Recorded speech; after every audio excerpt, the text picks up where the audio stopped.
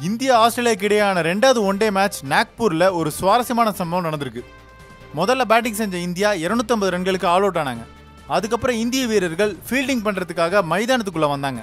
அப்போது தோனியோட ரசிகர் ஒருத்தவர் பாதுகாப்பையும் மீறி வீரர்கள் நோக்கி ஓடி வந்தார். அப்போது தோனியை கட்டிப்பிடிக்க முயற்சி பண்ணார். அந்த ஃபேன் கிட்டேருந்து தப்பிக்க தோனி ஒவ்வொரு வீரர்களோட முதுகு பின்னாடி ஒளிஞ்சு ஓடினாரு. இருந்தாலும் அந்த ரசிகர் விடவே இல்லை. தொடர்ந்து தோனியை விரட்டிகிட்டே ஓடினாரு. இறுதியா மைதானத்துக்குள்ள போன தோனியை அந்த ரசிகர் நெருங்கி அவரை கட்டிப்பிடிச்சாரு. இப்ப இந்த காட்சி தான் ட்விட்டர்ல வைரல் ஆயிட்டு வருது.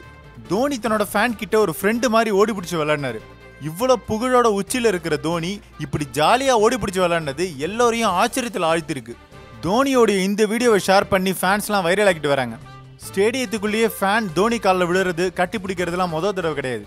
ஏற்கனவே இந்த மாதிரி நிறைய தடவை நடந்திருக்கு. அப்போல்லாம் அந்த விஷயம் ஒரு உணர்ச்சிகரமாக பார்க்கப்பட்டுச்சு.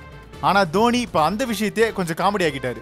உண்மையிலேயே அந்த வீடியோஸையும் ஃபோட்டோஸையும் பார்க்கும்போது தோனி அந்த ஃபேன் கிட்டேருந்து தப்பிக்கிற மாதிரி தெரில அந்த ஃபேனை மேலுமே குஷிப்படுத்தினார். அந்த ஃபேன் துரத்த துரத்த தோனியும் சிரிச்சுக்கிட்டே தான் ஓடினார். தோனி ஓட ஓட அந்த ரசிகரும் சந்தோஷமாயிட்டார். கடைசியாக அந்த ரசிகர் தோனியை கட்டிப்பிடிக்கும் போது அவ்வளோ சந்தோஷப்பட்டார். தோனியும் இந்த விஷயத்த ரொம்ப கூலாகவே ஹேண்டில் பண்ணார். அதுக்குள்ளே இந்த ஃபோட்டோ தோனி ஃபேன்ஸ்லாம் வைரல் ஆக்கிட்டாங்க. இதை வச்சு மீம்ஸும் போட ஆரம்பிச்சிட்டாங்க. முக்கியமாக ஒரு மீம் பார்த்தீங்கன்னா ஒரு காமெடியில் சிங்கமுத்து வடிவேலுவை டைம் கேட்கறதுக்காக துரத்துவார். அதை கம்பேர் பண்ணி இந்த ஃபேன் தோனியை துரத்துற மாதிரி மீன் போட்டிருக்காங்க.